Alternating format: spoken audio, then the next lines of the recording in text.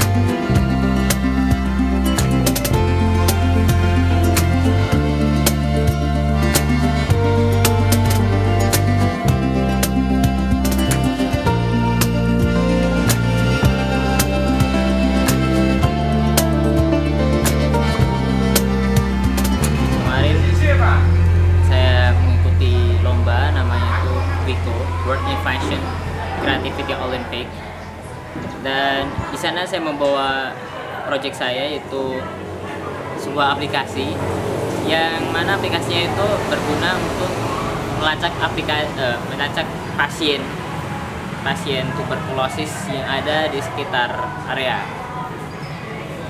dan ya alhamdulillahnya di sana saya mendapatkan medali emas dan berhasil membawa ke Indonesia.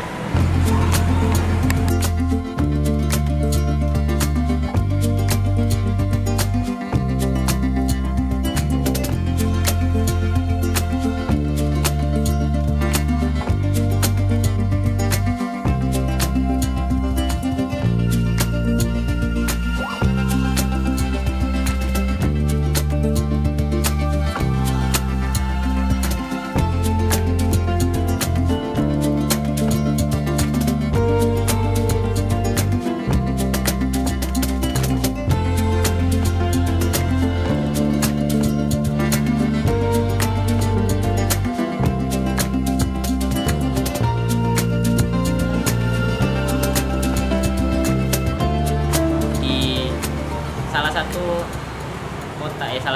desa di Pati yaitu Kayen. Ternyata termasuk uh, mempunyai penyakit TB ya penyakit punyai pasien TB yang cukup banyak. Jadi pa, pada saat kita observasi ke puskesmas Kayen kita dapat data bahwa di Kayen ini termasuk cukup banyak dalam pasien TB namun di pandemi ini eh, penanganan TB cukup kurang uh, terlayani cukup tidak ter tertangani lah. Karena uh, pada saat pandemi ini lebih memfokuskan ke penyakit COVID-19 timbang si tuberkulosis. Dan beberapa pasien yang pasien tuberkulosis itu enggan untuk memeriksakan diri ke puskesmas ataupun ke rumah sakit karena memang e, takutnya mereka itu uh, di covid kan karena memang gejalanya itu hampir sama dengan covid-19 sehingga dari situlah saya memutuskan untuk meneliti uh, si penyakit ini dan membuat aplikasi ini.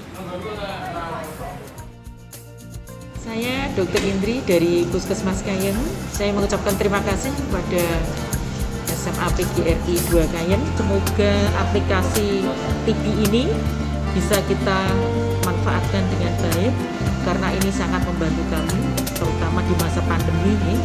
Jadi kita bisa screening tanpa bertemu tatap langsung dengan pasien. Kemudian pasien bisa konsultasi dengan dokter dan untuk tracing juga sangat membantu kami sehingga kita tidak kesulitan dalam melakukan tracing maupun menemukan lokasi pasien penderita TB. Sistem kerjanya uh, di aplikasi ini tuh ada yang namanya fitur screening dan tracing.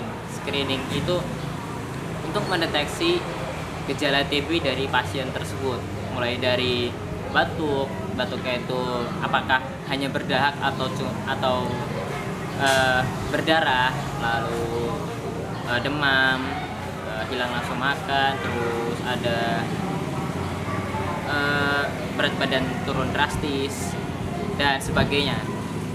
Uh, lalu setelah melakukan pendeteksian gejala TB tadi maka uh, si aplikasi akan memberikan uh, kesimpulan terhadap penyakit yang diderita pasien apakah itu termasuk gejala TB atau tidak. Dan memberikan saran kepada pasien untuk melakukan apa yang setelah dilakukan setelah melakukan uh, pendeteksian gejala TB. Lalu untuk fitur tracing, fitur tracing itu untuk melacak pasien yang ada di sekitar area. Jadi contoh kalau misalkan saya uh, mencari uh, suatu daerah contoh saja di sini namanya Kayen maka si aplikasi juga akan uh, mengeluarkan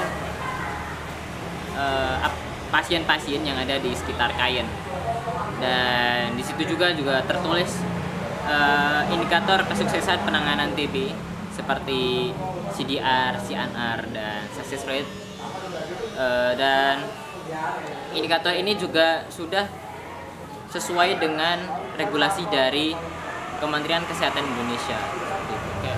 Saya bangga dengan aplikasi ini sehingga masyarakat dapat terbantu uh, dalam menangani penyakit TB serta uh, meminimalisir penyebaran TB di masa pandemi COVID-19 ini.